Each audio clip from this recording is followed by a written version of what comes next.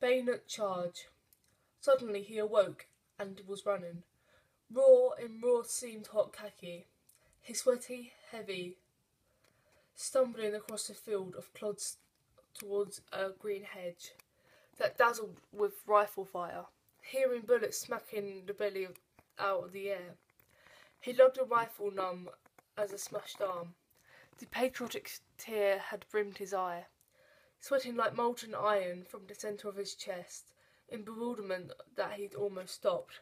This shows the patron uh, that patriotism has become painful and dangerous. In what cold clockwork of the stars, it shows there's no God and it's just unfeeling machines.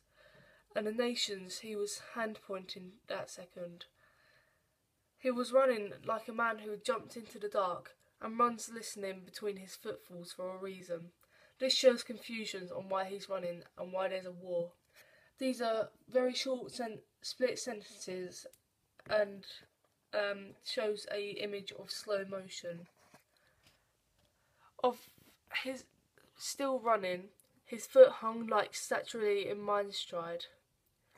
In mid stride, there was a shot slash furrows threw up from yellow better hare that rolled like a flame, which is suddenly woken, and crawled in the threshing circle, its mouth wide, with uh, open silent, its eyes standing out, which shows a visual image which is brutal. He plunged past with his bayonet towards the green hedge. King honour, human dignity, etc., and what comes before.